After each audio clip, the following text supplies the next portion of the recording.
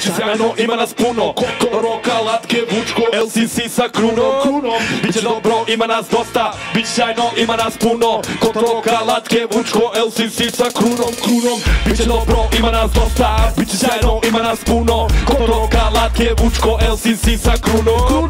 Biće dobro, ima nas dosta. Biće sjajno, ima nas puno. Koko roka, latke, vučko, LCC sa krunom. Yeah! Tetovaža na stomaku, baraba u postavi Ribice se lože kao da smo zlatom posuti. U nama više THC-a nego što si vidio ti.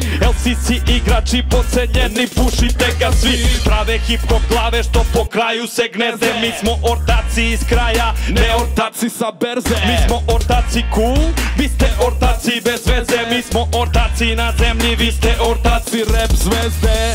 Ko se kurči tamo vamo Da vidiš šta znaš samo, samo pusti bre jaja I razmišljaj malo. Sa glavom Kruna je na LCC I još dodaš 43 Reprezentujemo. Jer smo tako navikli. Levo rucija Sad smo se teme dotakli. Institucija Povučem tim dva, tri Jer to je naša stvar Mi to tako radimo. I dok ide ovaj voz Mi samo ritam pratimo. Biće dobro, ima nas dosta. Biće sjajno, ima nas puno. Kod roka, latke, vučko, LCC sa krunom Biće dobro, ima nas dosta. Biće sjajno, ima nas puno. Ajde vučko, ajde vučko pored srca šakal u pripravnosti. Reperi vi budite face, ja neću da se zanosim Ja nisam kriva kome slučajno dvoja riba zapazi. Ali ne garantujem da je možda neću naposti Kruna na LCC, mi nismo MTV Živim normalan život, ne moram se pravdati. Nikome, tvoje sranje plitko je. Moje sranje pitko je, pa razlika je očigledna Čitko je, ja volim to što radim A ti se samo praviš, misliš da imaš ukusa Ali meni se gadiš, pričaš svima kako variš A u stvari ne znaš ni da pališ. Kada uzmeš dim, paranoišeš se daviš.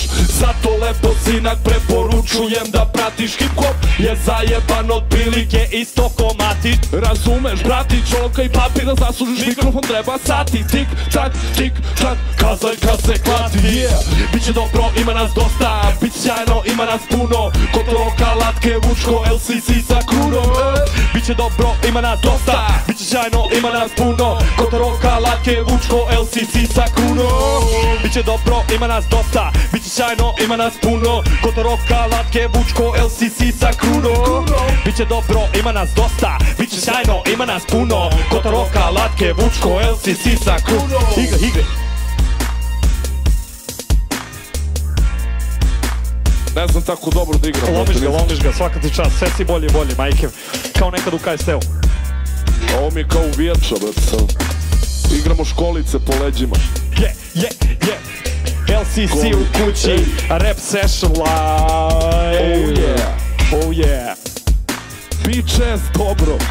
Bitches, bitches, dobro, yeah. Sjeban, ali tu se krije poruka, ne razumeš hip hop, za tebe je nauka. Hotline 0024, šutiram vas u dupe, učim vas kako se leti. Dok ortaci kažu daj mi sise i dupeta, ja sanjam te pare kao prava glava iz geta.